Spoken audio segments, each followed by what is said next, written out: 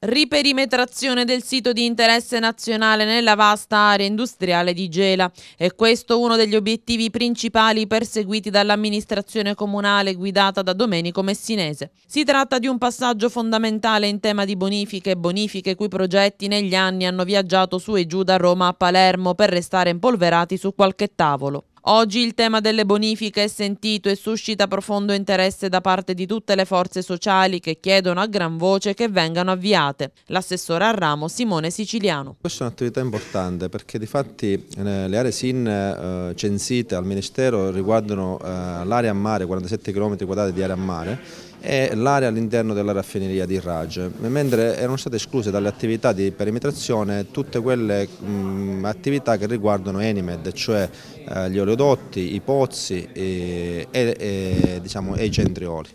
Eh, stiamo parlando di attività importanti che si estendono su tutta la piana di Gela, basta considerare che si parla di 80 pozzi, 60 km lineari di, di oleodotti e diversi centrioli.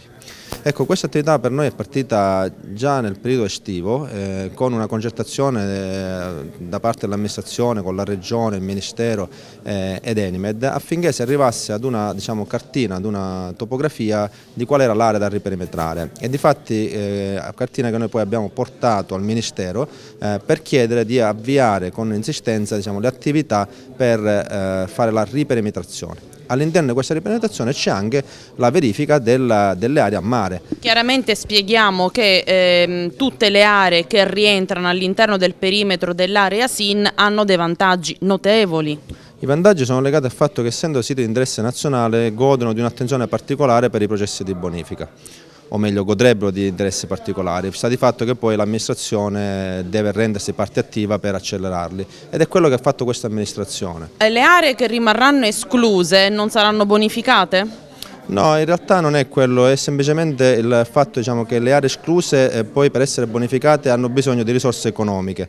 Eh, queste risorse economiche se sono diciamo, aree all'interno dell'area SIN eh, ricadono in ambito statale, se, sono, se, non sono in area SIN ricadono in ambito regionale. Più vasta è quest'area, maggiori probabilità ci sono di bonificare con fondi statali. Esattamente.